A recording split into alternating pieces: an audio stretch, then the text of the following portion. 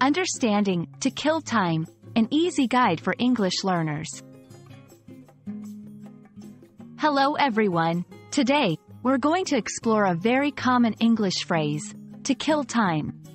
This phrase is used often in everyday English, and understanding its meaning and usage can really help in making your English more natural and fluent. Let's dive in.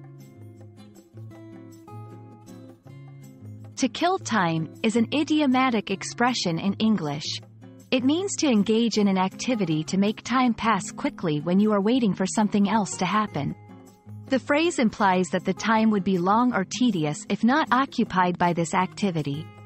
It's important to note that the activities used to kill time are usually not very important or serious.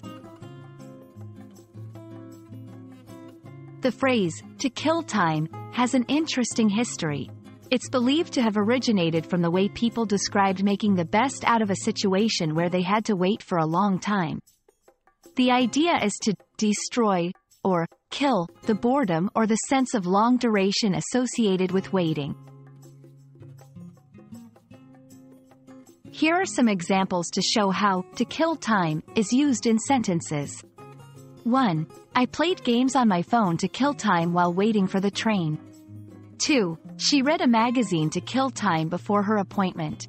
3. They decided to take a walk to kill time until the movie started. Be careful not to confuse to kill time with negative or violent connotations. It's a completely neutral phrase and is only about passing time. Also, it's not used for activities that are important or require a lot of focus.